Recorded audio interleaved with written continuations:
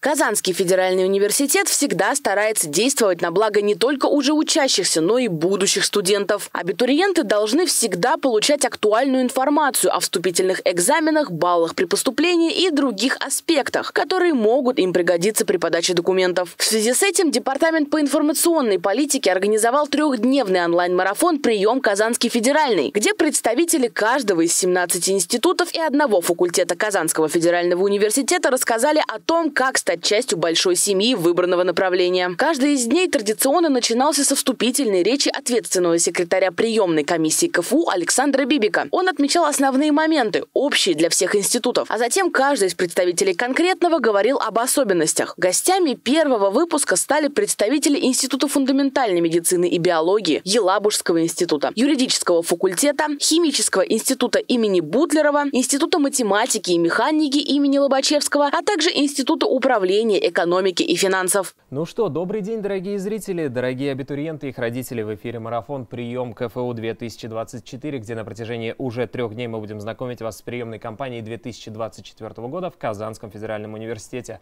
Задавайте свои вопросы в комментариях, наши специалисты приемной комиссии ответят на них. Ну, либо самые интересные мы постараемся озвучить в прямом эфире. А за самые креативные вопросы мы обязательно вручим вам подарки, но, впрочем, к этому мы вернемся немножечко позже. Второй день стал полезен для абитуриентов абитуриентов других направлений. Выступали представители Института информационных технологий и интеллектуальных систем, Набережно-Челнинского института, Института психологии и образования, Института физики, Института социально-философских наук и массовых коммуникаций и Института искусственного интеллекта, робототехники и системной инженерии. В завершении Александр Бибик подвел итоги второго дня. Модераторами беседы также по устоявшейся традиции стали Александр Фирсов и Арина Мухамедшина. Много ребят поступают после среднепрофессионального образования. Это выпускники а, как а, училищ, так и профильных э, образовательных учреждений. Много вопросов, я так понимаю, возникло на, на том, когда был институт психологии ИПО, да. и, да, и педагогического образования, потому что в Казани есть очень хорошие колледжи педагогические. И поступление выглядит следующим образом.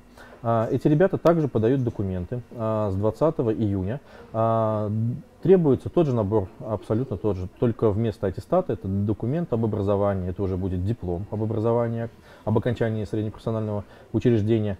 А, и у этих ребят есть а, возможность поступать как по результатам ЕГЭ, так и по внутренним вступительным испытаниям. И, наконец, на третий, завершающий день для гостей выступили представители оставшихся институтов. Со зрителями поделились тонкостями своих специальностей спикеры от Института международных отношений, Института вычислительной математики и информационных технологий, Института геологии и нефтегазовых технологий, Института дизайна и пространственных искусств, Института экологии и природопользования, а также Института филологии и межкультурной коммуникации. Онлайн-марафон. А, мы старались постарались немножко осветить правила приема поступления в этом году. Конечно, в дальнейшем будет еще больше событий, нужно следить за нашими соцсетями, а, где мы, чем ближе, приближаясь к приемной кампании, будем больше уделять этой теме а, времени и рассказывать уже какие-то а, моменты, на которые следует особо обратить внимание при поступлении. Но каждый институт имел право рассказать о себе в рамках этого марафона. Такое заявительное, презентационное, небольшое выступление каждого института. Вот по тому, что я видел, каждый институт довольно-таки корректно рассказывал а, и не только о себе, но и о правилах поступления. Трансляции, пусть и завершенные, можно посмотреть в записи в официальном паблике Казанского федерального университета в социальной сети ВКонтакте и узнать для себя множество особенностей, которые потребуются для поступления. Двери вуза всегда открыты, а ждем мы именно тебя. Елизавета Газизянова, Универ Новости.